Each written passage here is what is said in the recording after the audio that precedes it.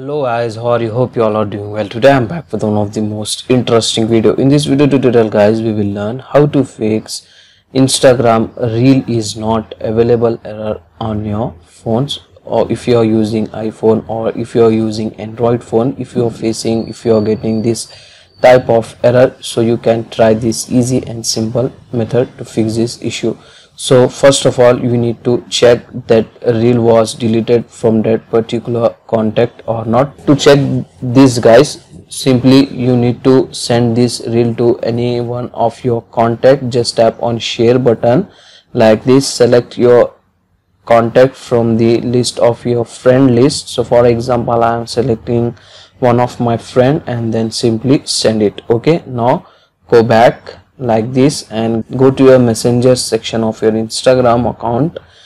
On the top right side corner just tap on it from here open that contact person which you have sent that reel. From here you need to open that reel. Now let's see it will work or not.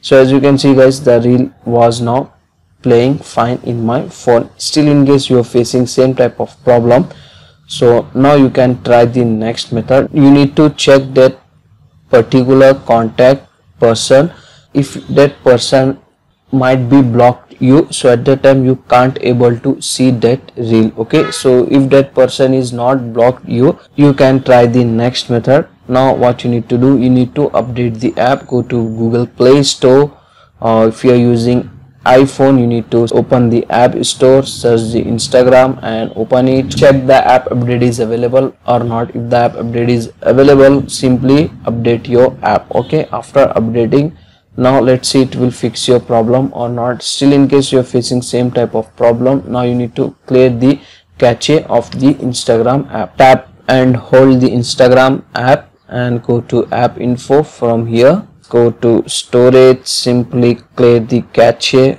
and restart your phone.